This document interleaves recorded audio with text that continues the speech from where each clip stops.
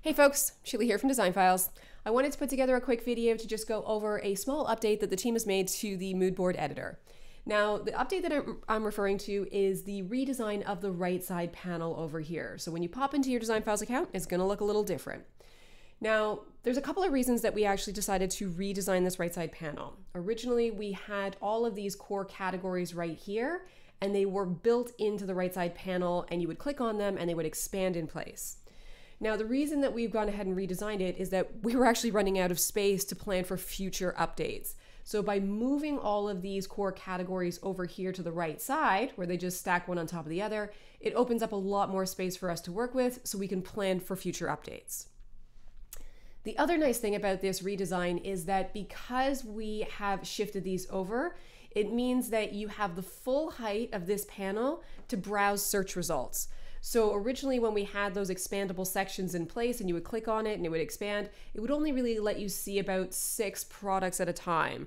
So by now having the full height of this panel, you're gonna be able to see a lot more product as you are browsing and it should make the whole browsing and sourcing process much faster for you.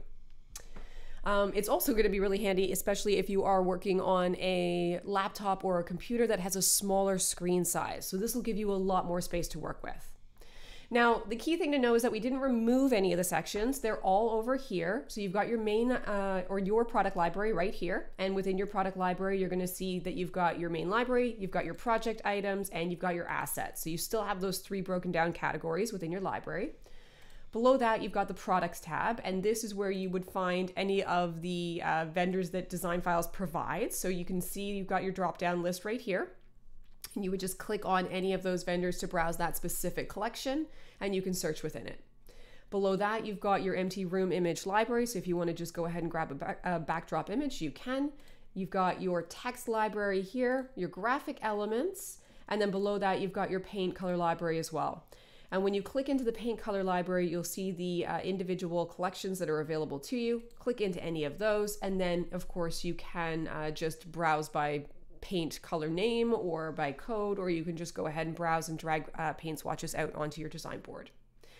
Now, the last thing that I wanted to touch on is that um, you can close down this panel at any time if you want more workable space by just clicking on the selected icon. So that'll just close down the whole panel and you can open it up by clicking on any of them, close it by clicking again. So again, if you are on a smaller uh, screen size, that will give you the opportunity to close things down so you have more workable space as you are building out your mood board designs. And that about covers it. So uh, definitely jump into your DesignFiles account, give that new update a try. If you do have any questions at all, feel free to reach out to us on the live chat. We're always happy to help. Thanks for watching.